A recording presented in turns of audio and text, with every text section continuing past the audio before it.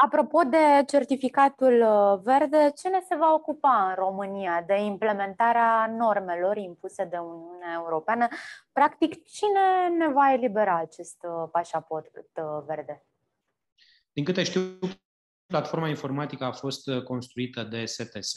Avem echipa care este responsabilă de vaccinare și cred că și această echipă, doctorul Gheorghiță, doctorul și secretarul de stat Andrei Baciu, vor fi implicați. Uh, cei care vor încărca în uh, aceste platforme peste tot în Europeană vor fi instituțiile de profil.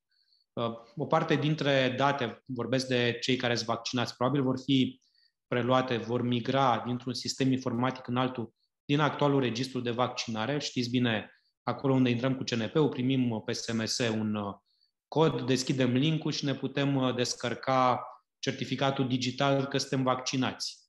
Sigur, l-am primit și unul pe hârtie atunci când am făcut apelul și mulți dintre uh, noi, dintre români, îl păstrează pe acela, dar îl putem descărca și pe telefon.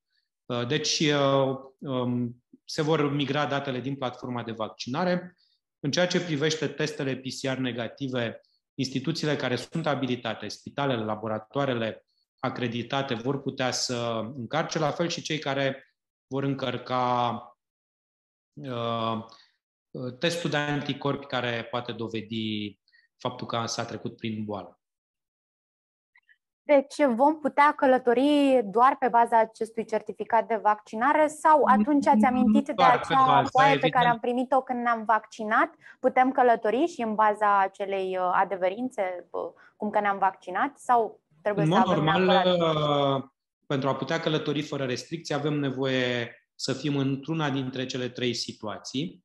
Nu știu dacă o persoană care nu-și face test, care nu e vaccinată sau nu a fost imunizată prin boală, va putea să intre într-o altă țară a Uniunii Europene, pentru că e posibil ca unele țări să decidă că nu mai aplică carantina și uh, atunci pur și simplu nu vei putea intra.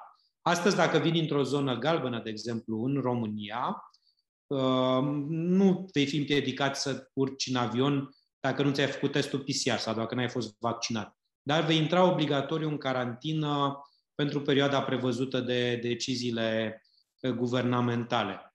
Eh, rămâne ca statele să decidă ce vor, cum vor proceda cu persoanele care nu vor să fie niciuna dintre aceste categorii. Cred însă că cei care vor călători, că o vor face în scop turistic, o vor face în scop de business, în scop profesional, eh, că merg să-și viziteze rude, prieteni, că merg să lucreze în străinătate, Uh, vor avea tot interesul pentru a nu fi supuși izolării carantinei, să își facă măcar testul PCR, uh, care e posibil pe anumite companii aeriene să fie obligatoriu. Companiile aeriene știți bine că au dreptul sau folosesc acest, uh, această situație pentru a nu îmbarca pasageri care nu au un test PCR negativ.